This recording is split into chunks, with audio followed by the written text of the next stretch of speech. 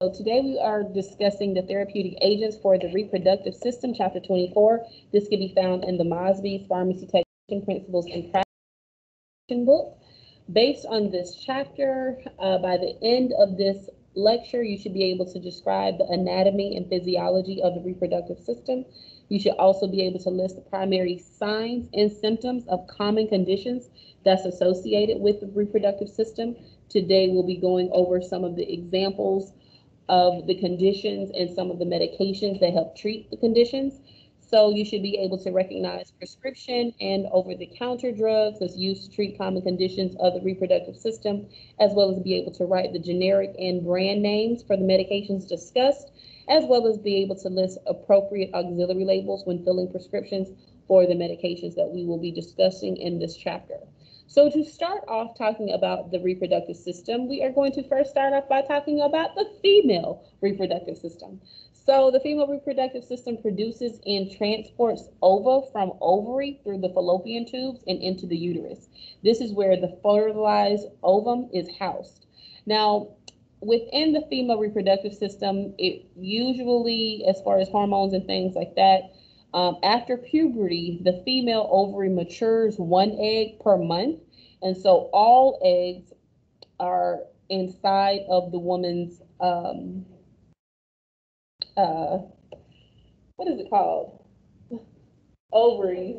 Yes, all of the eggs are in the ovaries at birth. So all of the eggs that a woman will ever need, or should I say ever have, are already inside of her when she's born.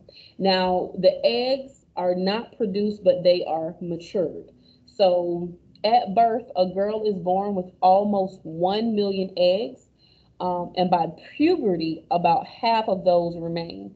So during a woman's reproductive life, about 400 eggs are released uh, to get a more um, uh, picture of what I'm referring to, you can refer to figure 24.1. So in continuing talking about the female reproductive system, we will learn that um, the mature egg is gathered by fimbriated ends of the infundibulum of the fallopian tubes. And so in ovulation, the oocyte uh, is propelled into the fallopian tube where uh, fertilization takes place. So the ovum is only viable for about 24 to 48 hours, and this is where the uterus houses the fertilized ovum. So when there is no fertilization, the endometrial layer sloughs off as menses. And so with menses, uh, you have the menstrual cycle, which begins at puberty, and it's known to continue for until the woman turns 40 years or until menopause. So for couples trying to receive, um, shortly before or at the time of ovulation is more effective than intercourse after ovulation. So that's why you'll see some uh, women actually try to purchase. Um, there are these over-the-counter uh, ovulation tests that can kind of let them know when they're most fertile. And so uh, in the pharmacy, you might see some women asking uh, about those particular uh, testing devices, which could be found over the counter near the pharmacy area. So premenopause is the term that's given to the years immediately prior to menopause. And this happens when symptoms such as hot flashes and irregular or skip periods generally begin. Uh, for more of a picture of this reference, you can refer to figures 24.2 and uh, figures 23 uh, as an example. So I kind of gave a bit of an example in regards to the female reproductive system. Now let's learn about the female reproductive hormones. So GnRH um, is from the anterior pituitary, which secretes hormones necessary for ovulation. Um, for the FSH, which stands for follicle stimulating hormone, and LH, which stands for luteinizing hormone, those particular hormones stimulate the ovaries to secrete estrogen and progesterone. So you should know two of the main hormones in the female reproductive system is estrogen and progesterone. Now, for major female hormones, you have the estrogen and the progesterone, which are secreted from the anterior pituitary gland. Uh, for more information on this, you can also refer to table 20. In the lower abdomen at the time of ovulation. I myself have even heard of people say, like right before their menstrual comes on, you know, I can feel myself ovulating. Now, I'm in touch with my body, but I have never actually, I, I don't have that experience. I don't know when I'm ovulating. That's, um, that's interesting to me, but it is known that some women can actually experience pain when uh, they are um, at the beginning of ovulation. So now that we've talked a little bit about some of the female reproductive hormones, we'll next talk about the mammary glands. And when we refer to the mammary glands, um, we're referring to the breast or known as the breast tissue, and these are regulated by our hormonal secretions. Now at puberty, uh, the mammary glands can increase in estrogen, which stimulates the development of glandular tissue. Now, with the progesterone, that stimulates the development of the duct system, which could be used uh, during the production of milk, uh, better known as uh, the lactation uh, process. Now, did you know? Here's a, a, interesting. Here's a good question to start thinking about. Did you know that some medications are excreted in the breast milk? This is the part where you'll take yourself off mute and let me know what your answer is.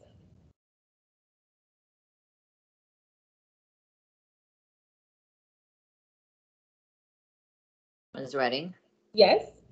Um, this is Paula. Actually, um, I had um ulcer, and they were giving me I don't know what kind of medication it was, but uh, it was like hormones for hormones, and and I actually, I mean, I had my baby in 2007, and mm-hmm. somehow mm-hmm. it was producing milk, and I was like, wait, am I pregnant? And I went back to the doctor, and I said it had to do to the medication I was taking, so I stopped taking it.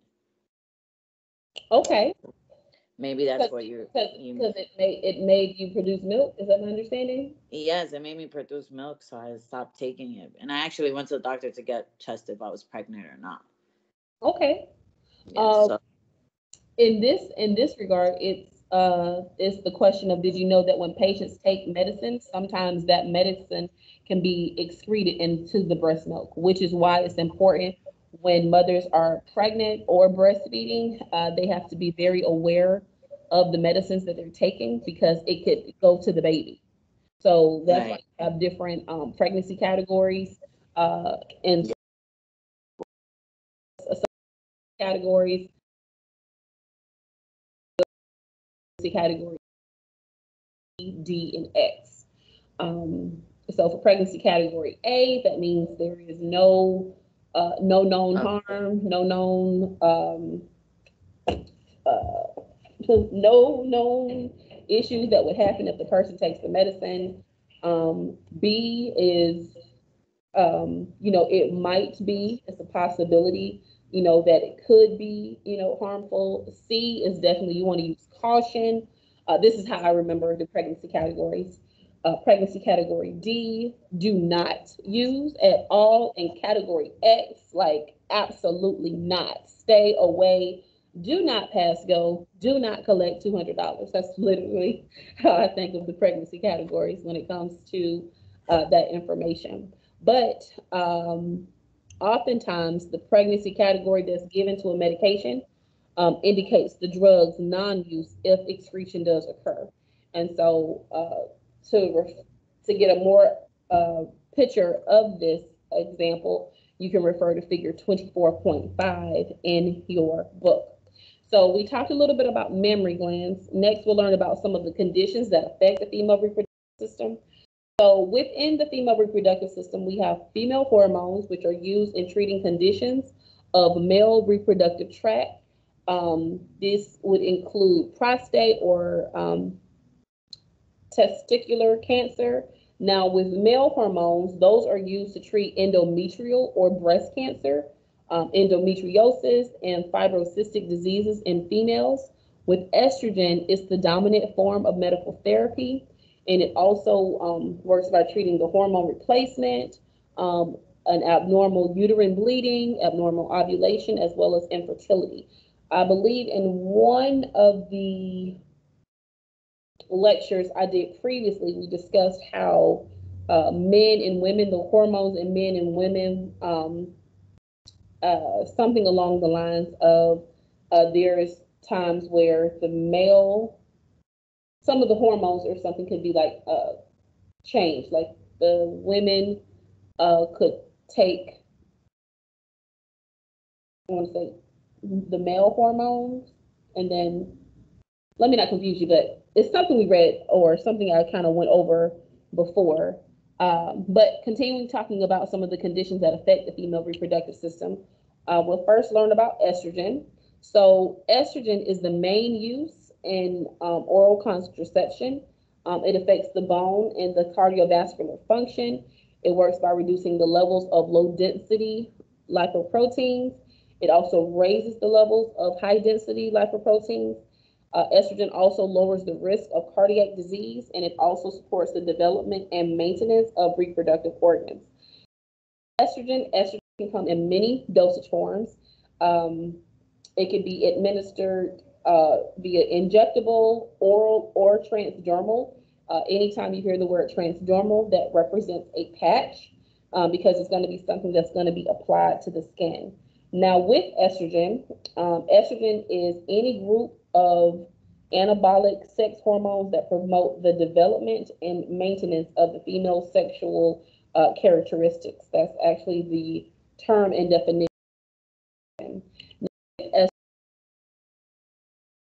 By promoting retention of calcium, phosphorus for the bone production. And in females, it also treats the hypo um, um, it also works by uh, treating postpartum breast engorgement or lactation. Uh, estrogen helps with uh, symptoms of menopause, um, endometriosis, as well as dysfunctional uterine bleeding. Now, in males, if a male is prescribed estrogen, it's used for inoperable prostate and testicular cancers.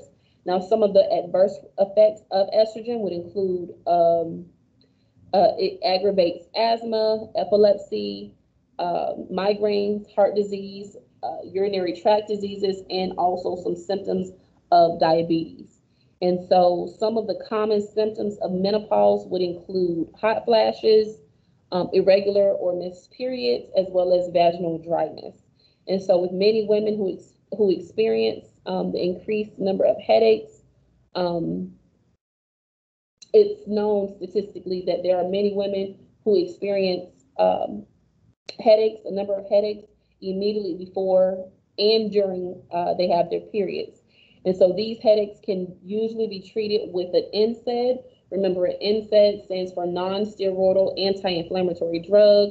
Uh, they could also, the migraines uh, or the headaches can also be treated with other drug classes such as triptans. Um, for an example, uh, uh, sumatriptan, which is the generic of Imitrex. And then uh, there are sometimes where a patient might use both uh, NSAID and a triptan. So I gave you an example of a triptan. Who can give me an example of what an NSAID is?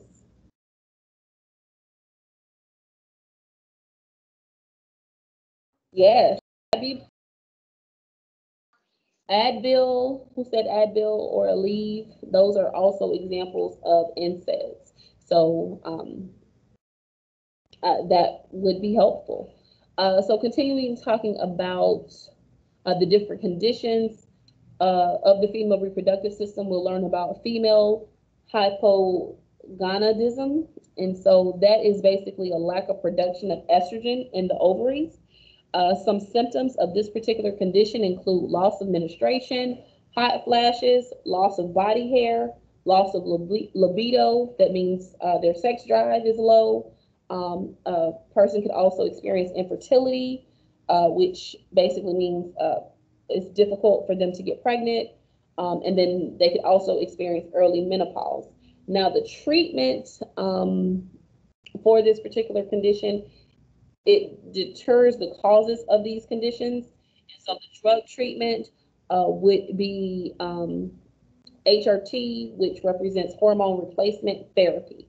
So maintaining an ideal body weight, eating healthy, and refraining from smoking, as well as adhering to an exercise regimen might also improve infertility. Now with estrogen and progestin, those are used for hormone replacement, and they, they may also help ovarian, ovarian stimulation. And so a low dose testosterone may help by increasing the sex drive. So that's why I was referring to the loss of libido. And you can refer to figure 24.6 for more um, information on this particular. So continuing about more conditions. We learned about estrogen being used uh, for some of the conditions. Um, one of the other conditions is the female hypogonadism. Another condition is infertility. And the prognosis of infertility actually depends on the patient's age, the cause of the condition, as well as the treatment methods. And so if a person is experiencing infertility, hormone treatment is the most common. So some of the medications that could be used if a person is experiencing infertility would include drugs such as Clomid, which its generic is clomiphene. Um, other medications would include um, Pergonal, and there are some other hormones. Um, these all can be used to increase ovulation. And so uh, with the fertility agents, those are given to promote um, maturation of the Graafian follicle and also the production of the ovulation. So with fertility drugs, those tend to increase the occurrence of multiple pregnancies. That's why sometimes when you hear women who say that they went to an infertility specialist, they sometimes um, come with uh, either, you know, I've seen people have twins or triplets, or, you know, you'll hear about people having quadruplets or sextuplets. Um, and so this is less of a risk with the oral clomiphene than with some injectable fertility drugs. And so based on this information, we learned that fertility drugs tend to increase the occurrence of multiple pregnancies because you have to remember it's increasing the ovulation. So there is a possibility of more eggs being dropped into the fallopian tube where when the sperm meets the eggs, they all get fertilized. So continually learning about other uh, information when it comes to the female reproductive system. You cannot talk about the female reproductive system without talking about oral contraceptives. Oral contraceptives is the medical term for saying birth control. Um, the abbreviation for birth control is BC, and so oral contraceptives, they're going to be taking birth control by mouth. Uh, these are relatively safe for non-smokers or uh, people of normal cardiovascular function. It is a very dangerous thing for a person to be taking birth control and also smoking because that is going to have some serious effects. So there is a combination of estrogen and progestin, which inhibits ovulation. And the progestin only is called mini pills. And so there is combinations of oral contraceptives that are more frequently prescribed, and they're almost 100% effective. But I will tell you, and this is not me counseling, this is just my own um, belief the only 100% thing to prevent pregnancy is abstinence. But let's continue talking about the lecture. So it's very important to take progestin only pills at the same time every day to maximize their effectiveness.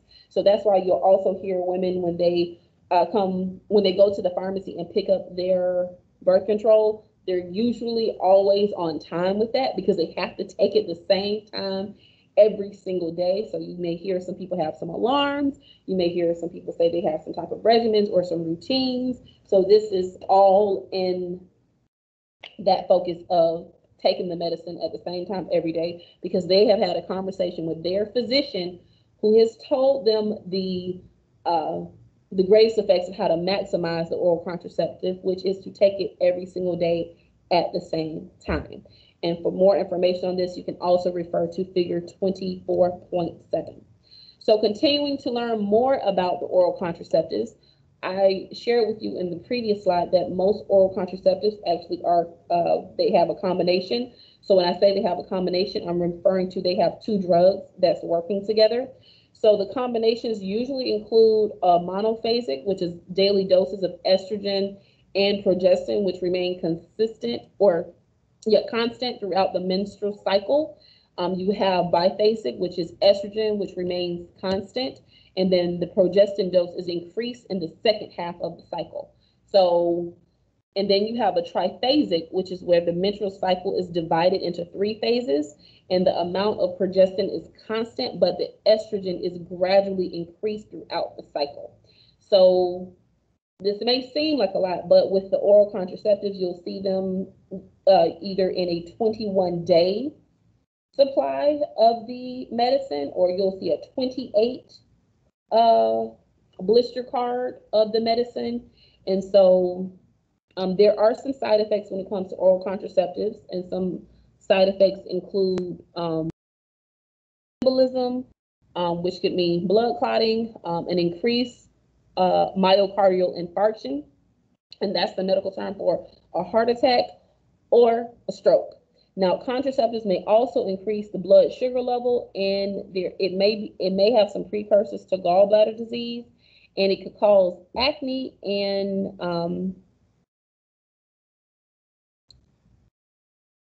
hirsutism. Hirsutism. We would have to look that up. Here, parasitism. Yes. Uh, we would have to uh, look that up to get a better definition of what that refers to. So as we talk about the oral contraceptives, we'll learn some of the effectiveness of oral contraceptives is that the medication is started on the fifth day of the menstrual cycle, and it should be taken at the 21 days. If a single dose is missed, that means if a person has their oral contraceptive and they've been taking it every day, even for two weeks, and they miss one day, the chance of ovulation is small. However, the risk of pregnancy increases with each missed dose. So, say somebody forgot Tuesday, so they forgot Wednesday, they forgot Thursday, then they remembered on Friday. Mm, there's a risk of pregnancy if they continue missing doses. So, menstruation normally occurs sometime during the last seven days of the pill cycle. So this is when inactive pills or no pills are taken. So when I say that there is a 28 day of a blister pack, the first seven pills are usually placebos. Um, and then the last 20, and then the next 21 pills are the actual active uh, ingredient medication. So there's a form of oral contraceptives that's now available that is taken on a three month cycle. And so basically, each package contains 12 weeks of active pills and then one week of inactive pills. So that's what I'm referring to.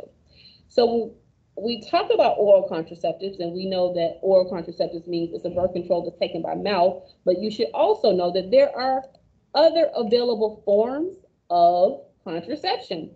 So the most common form of contraception is the oral contraceptive, which would come in a tablet. And so you have different examples, which would be Seasonale, orthotricycline, orthotricycline low, Yaz, Um, you may know some or have seen some of the commercials. There are different ones. Then you have some uh, available forms of birth control comes in a transdermal patch, and that's where they would put the patch on their arm. Um, and then you have some birth control that comes in the form of an injection. Uh, you may be you may be familiar or, or have heard of a Depo shot. Uh, that's an example. And then you have another dosage form in the size, well, not the size, in the form of a of something that's to be inserted vaginally. And what I'm referring to is NuvaRing. That is a contraceptive that's to be refrigerated uh, that's a need to know. That particular dosage form has to be refrigerated, and um, the patient would actually uh, have the NuvaRing in for three weeks and then out for one week, and the week is out would be during the menstrual. Uh, there are other ways of birth control. Um, you have Mirena, um, you have IUDs. Uh, there are so many different forms of birth control. Um, but the advantage of some of the non-oral products is that they can help the individuals who may have trouble remembering to take a pill every day. So um, those are some of the available. Sorry about that, Miss Redding. I got um disconnected. I'm back on. Just just to let you know. Oh, okay, no worries. So those are some of the available forms of birth control. Now there are some other contraceptive products. Um, contraceptive is all about um, preventing the risk of pregnancy. So some of the other contraceptive products would include spermicides.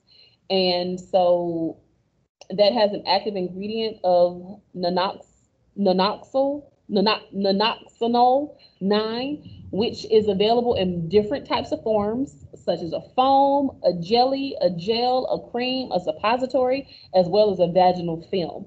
I'm not sure if you have ever really explored the over the counter section of the contraceptives, but it is a lot of options over there. And you just not, you just may not be aware of the different forms that a patient may be looking at.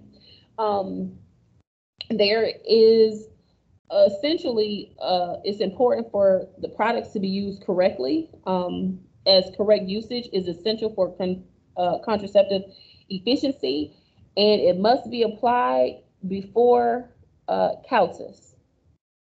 Hmm. Um, now, the other contraceptive uh, forms, I talked about um, IUDs, um, which is an intrauterine device. That's something that would be actually um, inserted at the doctor's office, um, primarily at an OBGYN, um, where they would kind of like it kind of, I, I, think I want to say cl- like clamps the tubes, or not clamps the tubes, but it kind of puts a hole, the IUD. They have it where it could be put either put in the arm or um, be put in the in the upper part of the vaginal to uh, near the uterus, so that the eggs won't fall down.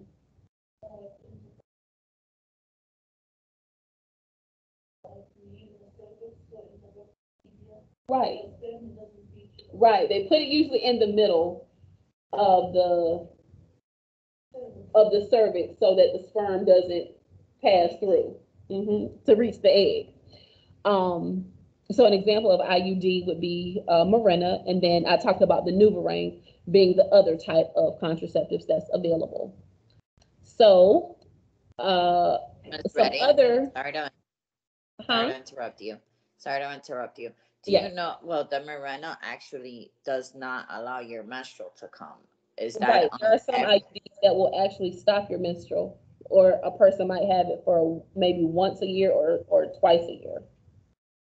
Okay. Thank you. Mhm. Uh, some other contraceptive products would include a barrier device, which uh, there are different types of barrier devices, such as male and female condoms. You have cervical caps, and then you even have diaphragms. Um, now, the male condom is the most frequently used, and these are made of three materials, which would include latex, polyurethane, and lamb intestine. Now, I will be honest, I did not know that that that was made out of all of those ingredients. Continuing, uh, the female condom is a loose-fitting polyurethane pouch. Um, now, with the lamb intestine condoms, those are reported to be less effective for preventing STDs, known as sexually transmitted disease. Um, and so that's why you'll see on commercials it says uh, these are primarily used to prevent the risk of pregnancy, but is not used as a um, a guard to prevent against um, it does it's not hundred percent for uh, preventing uh, STDs. Um, now we cannot talk about contraceptives without talking about emergency contraceptives. And so emergency contraceptives is better known as the morning after pill. And so uh, this is this would be a medication that is taken after a person has had intercourse and maybe they did not have uh, protection and it's more effective if they take the first dose the morning after um, or with at least within 72 hours of unprotected intercourse. And then the second dose is taken 12 hours after the first intercourse. So uh, one of the main uh, emergency contraceptive medications is called Plan B, uh, one step, which is an emergency pill, and it's uh, basically a large dose of levonorgestrel, and it's available in a single dose tablet. Uh, now, it is very, very important to understand the morning after pill is not to be considered as birth control. It is a emergency contraceptive. So it is very dangerous for someone to use a emergency contraceptive as a form of birth control, meaning um, like if they take it every single week, like that's going to have some damaging effects. Not counseling, but just it's an emergency dose. Um, so there are some effects to continuing to take that. So as we continue to talk about um, emergency contraceptives, uh, you have uh, different types of medicines. You have um, mifeprex. Um, say a person uh, was um, unfortunately uh, taken advantage of, and uh, there was a pregnancy that resulted of that. Um, there is an abortion pill. There is uh, something that's called anti-progestin. And so it works as being an antagonist to the progesterone, which prevents the maintenance of pregnancy. Um, this is primarily used within the first nine weeks of pregnancy for safety, and it must be administered by a qualified healthcare professional.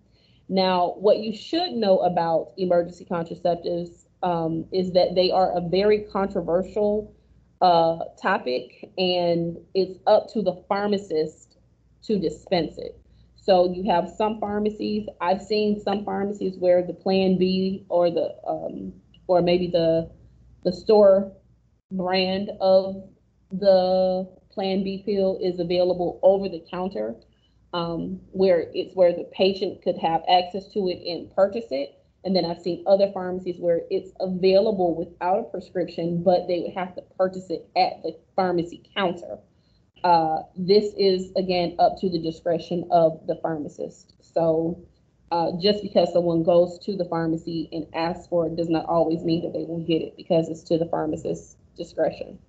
Um, I, in my experience as a pharmacy technician, have seen pharmacists deny it um, just based on their own uh, belief in what the medicine is and them not knowing, or that's just their decision. So that's what I'll say. I've seen it be denied before. So we were talking about uh, emergency contraceptives. There are some side effects. So the morning after pill is a high dose contraceptive, and so it's progestin only or in combination with estrogen. Uh, the progestin requires only one tablet, which is better known as the Plan B uh, medicine. Now, the side effect of emergency contraceptives is that it can lead to infertility, uh, breast tenderness, chest pain, shortness of breath, blurred vision, and jaundice.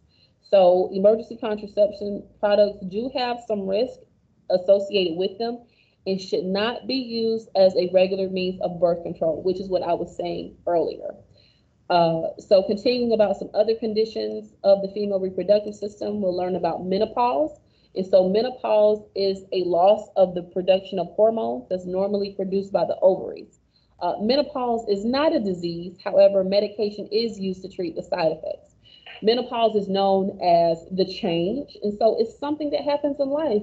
You know, as uh, uh, as a female grows and uh, gets into puberty, and then her menstrual starts, the menstrual ends eventually. And so when that happens, that's when menopause occurs. But again, it's not a disease. However, it's a condition, and there are some side effects to that condition. Uh, we talked about it earlier. Some of the side effects of menopause would include hot flashes, um, which is the often side effect, which is why some women seek uh, medication. Um, there are some lifestyle changes that can help lessen or lessen the symptoms. And um, there is even a use of neuropathic treatments that could be helpful. Now, as far as are concerned, the drug treatment for menopause uh, would include estradiol, which is a major natural estrogen, which is produced by the ovaries and is combined with progestins. And this works by protecting women against coronary and vascular disease. Now, there are some risks associated, which could be um, thromboembolic disease and neoplasms. Um, these are considered the most effective treatment for menopausal symptoms. Uh, the estrogen, or excuse me, the estradiol is considered the most effective treatment for menopausal symptoms, such as hot flashes, mood swings, and night sweats. Um, HRT, which is the abbreviation for hormone replacement therapy, it u- it's used as a short-term therapy for the most severe menopausal symptoms.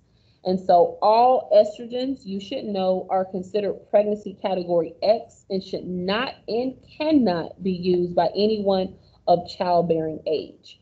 Uh, so that what do I mean when I say that people who are in their years of having children should not be taking uh, this particular uh, medicine. Now with soy, um, soy and black cohosh, uh, those are plant-based remedies that's used by some women as alternatives to hormone replacement therapy. You have some women who don't want to be on medicine, um, you know, based on the side effects and just their own beliefs and what they want to take. So they may take something as an alternative, um, such as soy or um, black cohosh, which can be found over the counter in the vitamin herbal section. Now, there is more research that's needed to fully understand the benefits and risks of these preparations, but these are some things that are used. So completing talking about the female reproductive system as far as conditions go, we'll talk about PID, which is the abbreviation for pelvic inflammatory disease. This is an inflammation of the female reproductive organs, and they may occur due to an STD, which is a sexually transmitted disease. Now, there are some risk factors of, of a woman um, developing PID. Um, some risk factors would include a history of PID in their family, um, perhaps their age, and then also having multiple sexual partners. Uh, for drug treatment for this particular condition would include antimicrobials and oral medications. Now, with PID, we talk about it being an inflammation of the female reproductive organs, but it's a severe inflammation of the uterine lining, the fallopian tubes, or even the ovaries that can cause and also permanent infertility. Now, some of the symptoms would include abnormal or increased vaginal discharge. Um, they could experience bleeding uh, between periods, some painful menstruation, painful urination, or even painful bowel movements. Um, other symptoms include fever, uh, painful intercourse, and then pain in the upper right abdomen. And you can refer to table 24.4 for more uh, more of a visual on this particular aspect. So now that we have talked about the female reproductive system and its conditions, we'll next talk about the male reproductive system. Uh, so you have male sex hormones, and those are stimulated by the GnRH of the anterior pituitary gland. Um, these stimulate formation of the LH, which is the lutein uh, hormone um, or the FSH, which is the follicle stimulating hormone, um, with interstitial cells of the testes. These are then stimulated to secrete testosterone. And um, as we're talking about male sex hormones, um, the most abundant androgen is testosterone. So uh, the hormones in males uh, happen more in puberty, and then the androgens stimulate formation of the secondary male characteristics, which um, help by building the muscle mass, deepening the voice, and then also uh, males experiencing facial hair growth.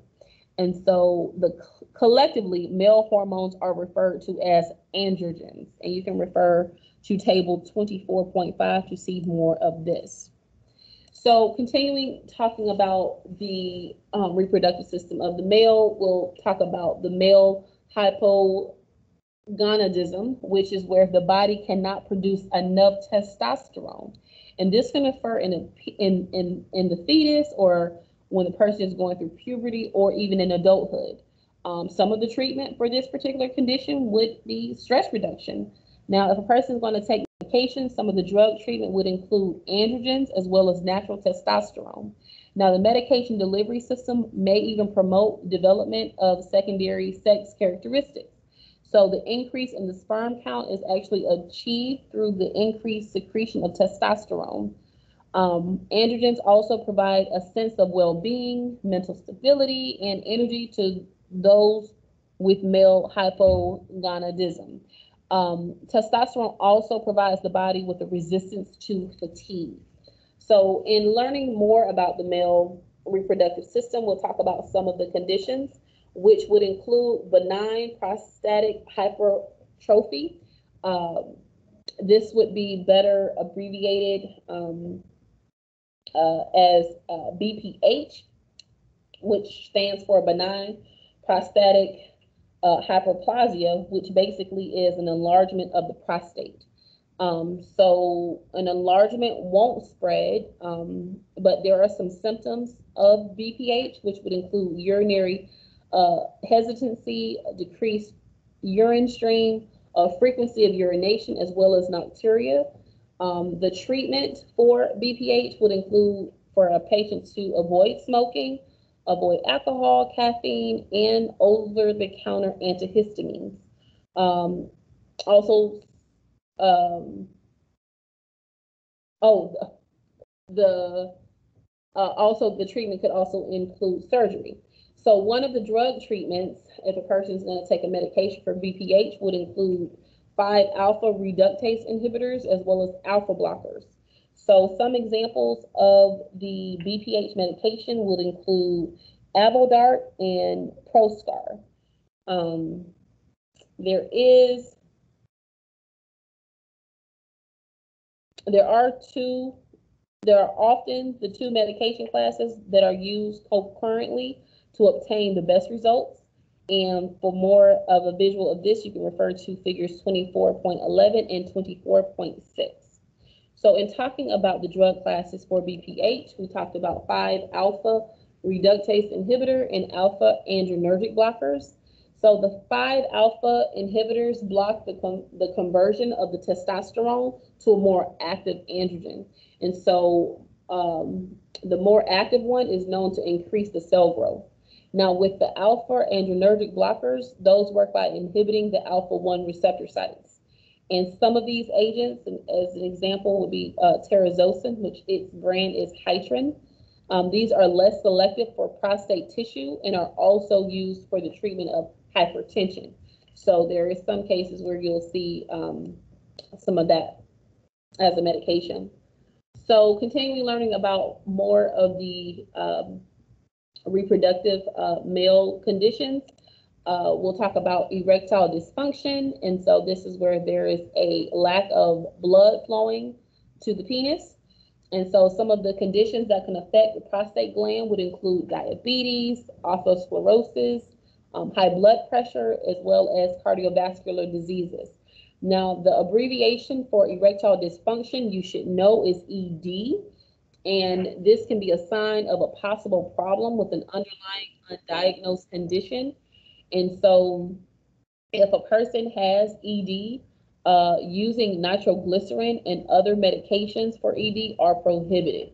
And so uh, if a person has had uh, heart failure or um, has a history of cardiovascular disease, they would want to be very careful taking medications uh, for ED. And so for the drug treatment of erectile dysfunction would include uh, certain medications such as uh, Viagra, which its generic is sildenafil. Uh, there are other examples of medications that can help treat erectile dysfunction, which is Cialis and Levitra. Um, and so uh, Viagra was actually introduced to the market in 1998 to treat impotence.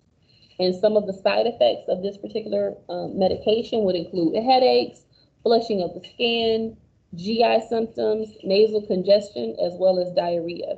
Now, patients who are on nitrates, which nitrates are primarily prescribed for patients who have uh, failure or who have had um, heart attacks, Um, they are advised to not take sildenafil because it could cause dangerous decrease in the blood pressure. And for more of a visual on this particular um, outline, you would refer to table twenty-four point eight. So in learning more conditions of the male reproductive, um, we'll also talk about prostate cancer, which its symptoms include nocturia, dysuria, um, blood in the urine or in the semen, uh, painful ejaculation, as well as pain in the pelvis or even in the lower back.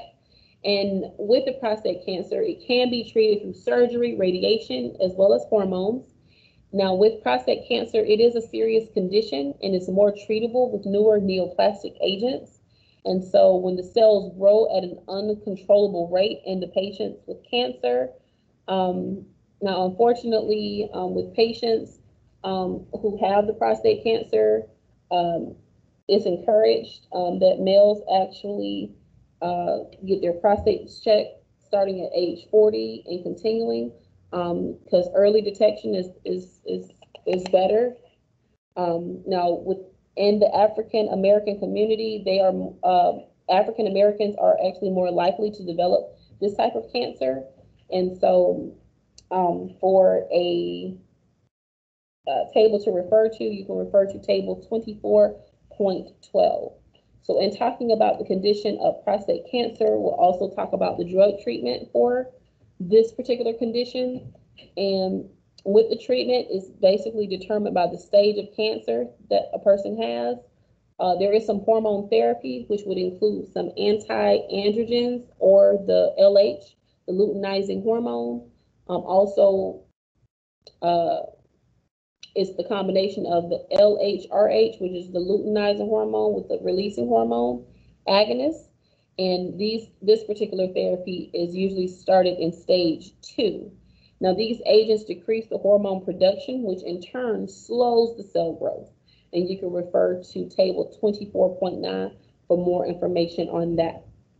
So we talked about the female reproductive system and the male reproductive system, and we cannot complete this chapter without discussing STDs. So sexually transmitted diseases affect both males and females. Now, it is transmitted by sexual intercourse as well as non-sexually. Uh, a STD can stay hidden for long periods. Um, it's caused by bacterial, viral, fungal, and protozoal organisms. And if it is untreated, it can cause irreversible sterility, blindness, and death. And so the key to uh, prevention um, is education. Education is the key to the prevention of STDs. Um, there is even uh, some clinics that offer free STD tests, um, which is very important because everyone should know their status and know their numbers. Um, you can refer to tables 24.10, 24.11, and 24.12. And as we complete uh, discussing the reproductive system and the therapeutic agents for. It will lastly uh, discuss hepatitis C, which um, the interferon alphas help activate certain immune cells. And so there is new uh, medications like ritonavir and um, bidtasvir and other uh, medications which have more specific mechanisms of actions. And so the target key enzymes for hepatitis C is virus re replication, which could result in fewer side effects and a better chance of therapy success. And so there are two recent trade name medications for hepatitis C, um, which would include Viekira and her Harvoni and you can refer to table 24.12 um, for more information on this. And that is actually going to conclude our lecture for the therapeutic agents for the reproductive system.